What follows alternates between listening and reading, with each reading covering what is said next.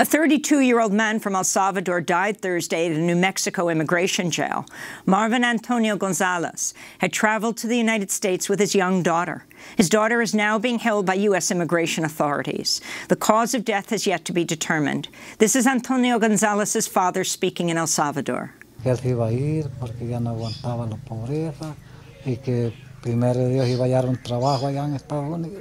Estados Unidos para poder este, recuperarse de la pobreza. Y él, pues esa, esa fue toda su intención y su idea que llevaba para agarrar ese camino. At least 15 asylum seekers have died while in U.S. custody since September of last year. Seven of them were children.